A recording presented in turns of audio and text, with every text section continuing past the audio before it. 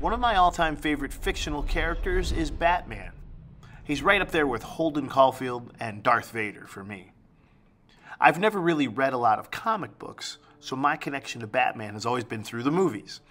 I still remember the excitement of seeing Michael Keaton in Tim Burton's first amazing Batman movie.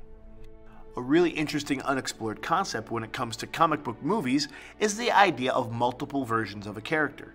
In print, almost every character has changed costumes, become a futuristic or old fashioned version of themselves, or passed on their identity to a new generation.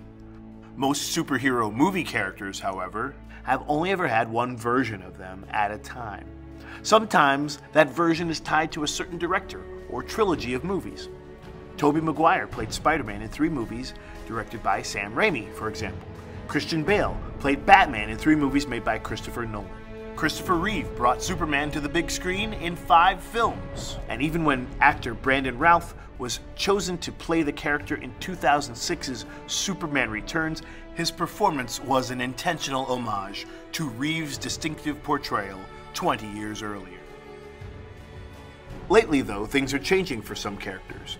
Instead of being locked into the current single version of a character and the actor who plays them, movie makers have begun to experiment. While Jared Leto was still officially portraying the Joker in the Suicide Squad movies, the studio approved a standalone movie called simply Joker, starring Joaquin Phoenix. It was quite different from other comic book movies released around then. It also became the most financially successful R rated movie of all time.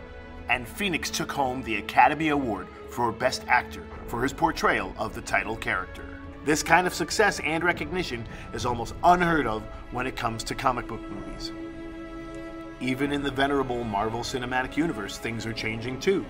While being played by the same actors, the film Doctor Strange in the Multiverse of Madness introduces versions of characters from different dimensions.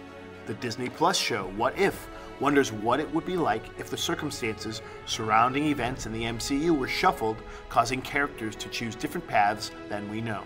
The plot of the episode that sees Peggy Carter switch places with Steve Rogers is echoed in the Multiverse of Madness film that sees Hayley Atwell play Captain Carter for the first time ever in the live action MCU.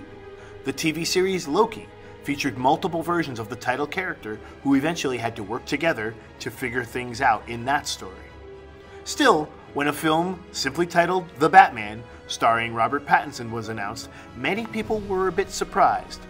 Ben Affleck had last appeared as Batman in the Justice League, and his status remained uncertain, but he did shoot new scenes with director Zack Snyder during the pandemic for his re edit of the original movie. Now it is confirmed that Michael Keaton, who appeared in the first major Hollywood Batman film 30 years ago, will reprise his role as the Dark Knight in more than one upcoming Warner Brothers movie. It's proof that anything is possible. Some fans like things to stay the same. They would never have accepted another actor besides Robert Downey Jr. playing Iron Man, for example. But today, the prospect of more big screen adventures for our favorite heroes is being pushed by fans and money hungry studios alike. It may just be a moment in time, and there may be backlash if the movies aren't good. But for now, all of us get to enjoy a lot more of Batman and other characters for the next few years.